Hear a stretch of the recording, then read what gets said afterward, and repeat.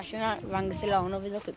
Eu acum sunt uh, în drum spre casă, vin de la școală, am văzut după amiază și știu că n-am adus de mult, dar nu știu ce să fac.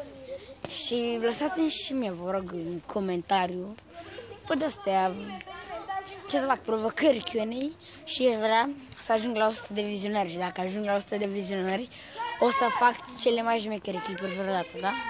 Vă rog eu. Și dați un like, share și subscribe.